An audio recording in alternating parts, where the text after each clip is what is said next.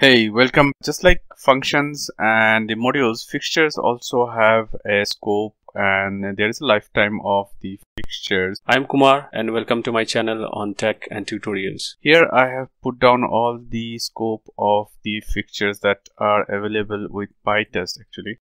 So just to note that fixtures are actually created when they are actually first requested by any test and are destroyed based on their scope. So there is a subtle difference between the creation and the destruction of the fixtures. Uh, by creation we mean the when the fixture setup part is run if you remember that there is something called yield the code before the yield is taken as part of the setup and the code after the yield are taken as part of the teardown and is run when the fixture is getting destroyed or it is its job is done. It is created when it is requested by the test so it doesn't matter whatever you define in the scope, either it's a module, package or session doesn't matter, but it is created whenever there is, it is requested by a test. But it is, it is destroyed based on the scope that you define for the fixture. So by default, all the fixtures are created uh, in the function level. So whenever the function is done, the fixture is actually destroyed by default if you do not specify the scope of the fixture. So let us actually look into a couple of examples here which we have already written down earlier. So here we have seen that we can how to define the scope of the fixture. Here I have defined scope equals to module.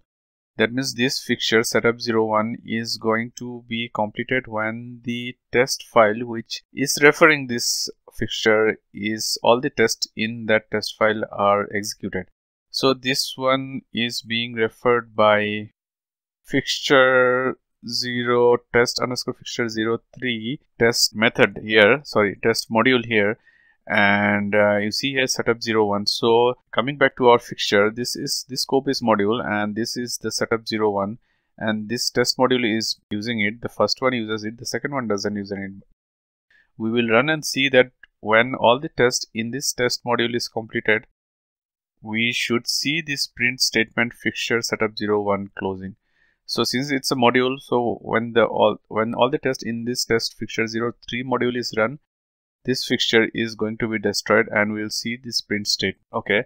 And uh, coming back to our notes here so function is the default scope is destroyed and there is a, something called class level fixture which uh, you can define our tests are not defined as class. We have seen one example earlier but anyway this test module is not defined in the class object oriented way of writing the program. Okay so that provision is also there. Just to take note of that.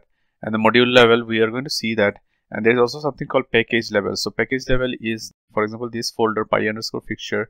So if you define the scope as package when all the test functions in this whole package py underscore fixture has been run you will see that that fixture is getting destroyed and if you define it as session level so whenever all the tests in that particular session is completed then you will see that fixture is getting destroyed. We are going to see module level and a session level for this demo.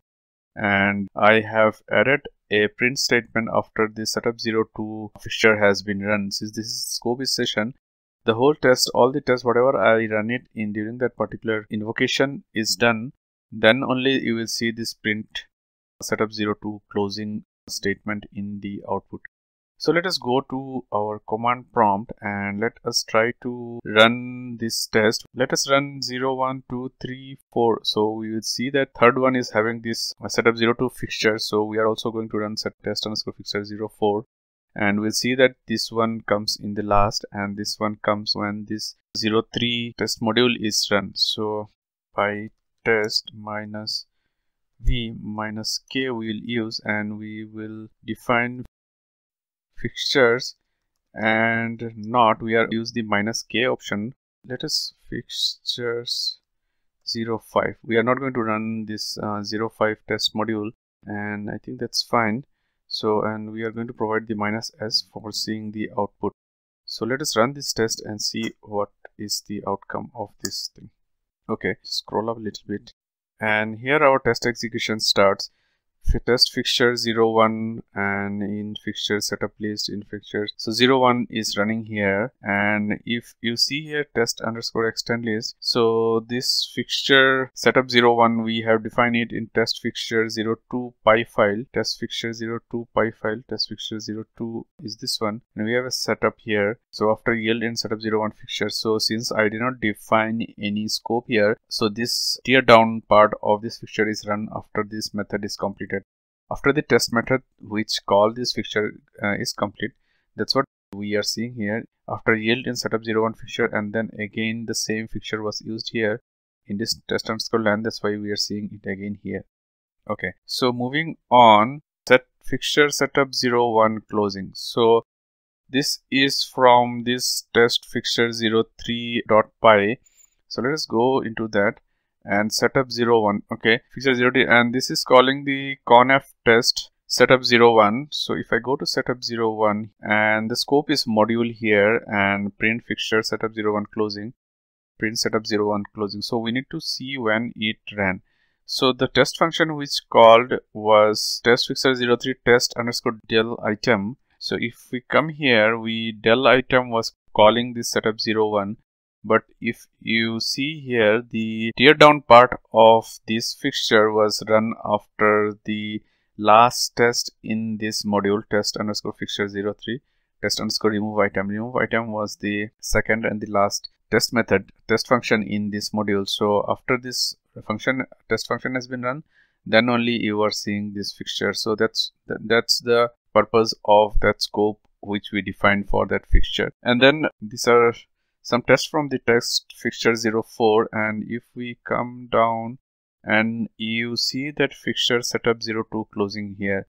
So if you notice that this tear down part of setup 02 did not run here instead it ran in the end of all our tests so even after the fixture 04 which is not referring to this setup 02 fixture after this run then only the setup 02 fixture tear down part run here in the end of this session. So if you come back here which we have defined scope is session and fixture setup 02 closing. So end of the session only this part got executed. Okay? And and then the rest is this test summary and all. So coming back that's about the fixture scope.